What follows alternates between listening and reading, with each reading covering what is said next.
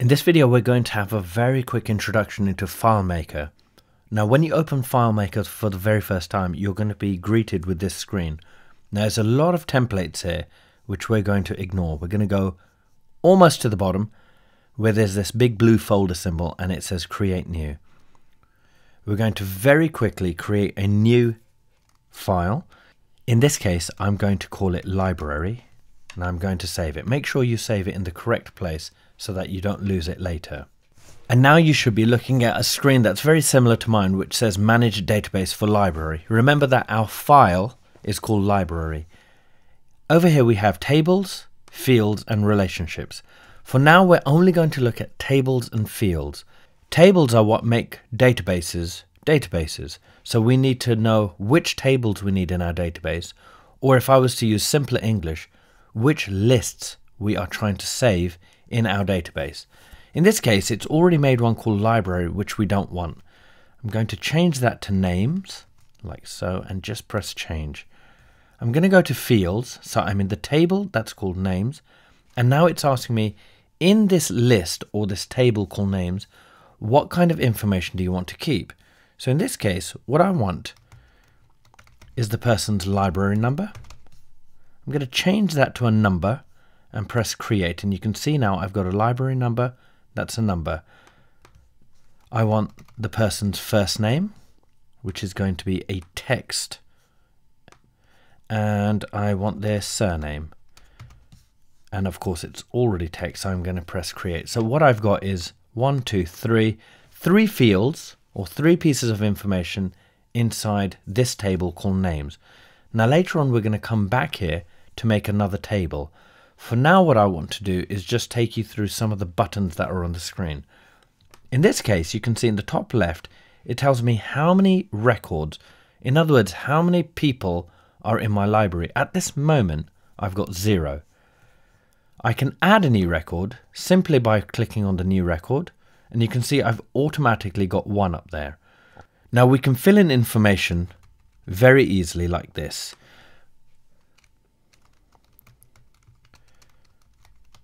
So that's our first member of the library with a library number of 100001.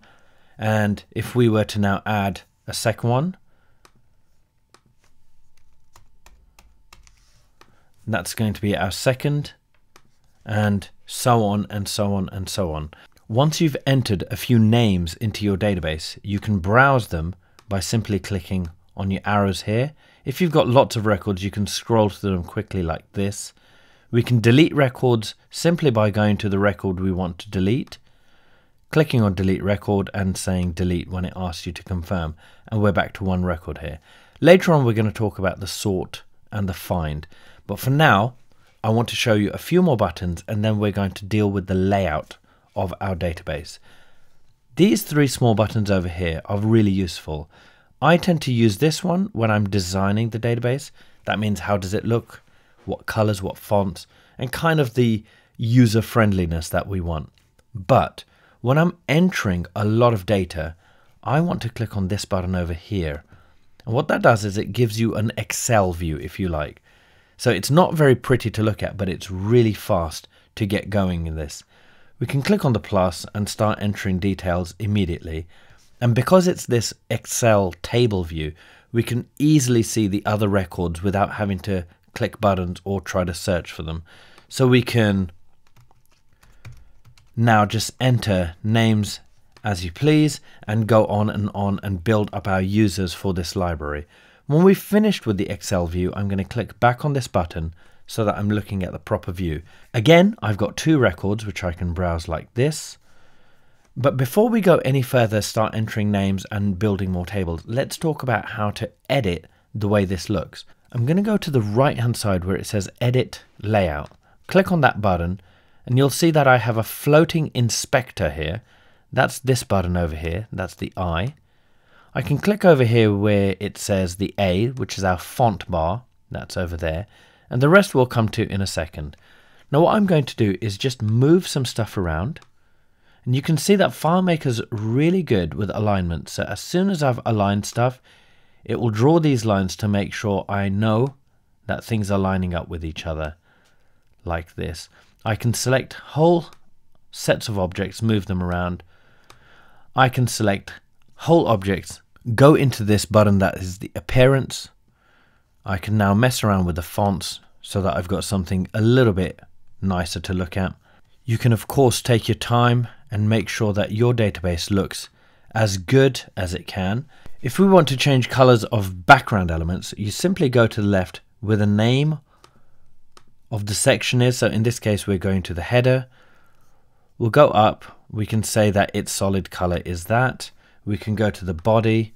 You don't have to settle for a solid color because what we can do is add gradients in there. So we can, for example, so we can make our databases look as boring or as exciting as we want to. We can click on fields like this and change their colors as well. So there really is almost no limit as to what you can do in FileMaker to make your database look the way you want it to look. If, for example, we wanted to add some text at the top, just to make it easier to know what we're doing, we can even add titles in we can resize elements on the go like this. So really your idea here is to make your layout look as good as you can for the person who is going to use it. Let's click that away. Now, of course this isn't finished, but let's exit this layout. It will almost always ask you to confirm do you want to save. I normally click on here and press save so it won't ask again. So rather than the boring black, white, grey one that we had, we've got this rather bright green and blue database that we've made. So we'll work on the look of our database later. Now, what happens if, for example, we want to add another field or another piece of information into our names? Well, what we're going to do is click on Edit Layout, and now we're going to go to this top gear symbol, the settings symbol, click on it, and go to database. So I've clicked on manage and database. Now we're going to be brought back to that same window we had before, which was adding fields to our tables. So that means whenever we want to add a field or change a field or do something, we can always get back to our manage database so that we can add, subtract, change anything that we need to. Now in the next video, we'll talk about how to add another table and some more fields.